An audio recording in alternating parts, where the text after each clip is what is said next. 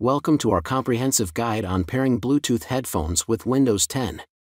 In this step-by-step tutorial, we'll walk you through the easy process of connecting your favorite wireless headphones to your Windows 10 PC.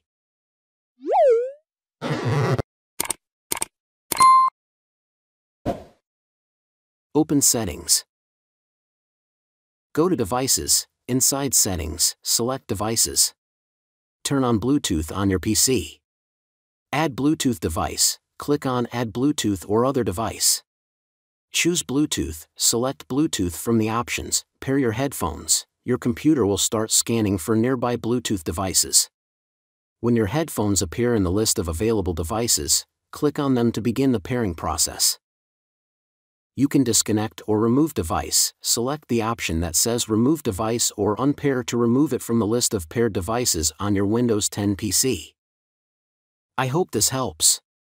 Let me know if you have any other questions.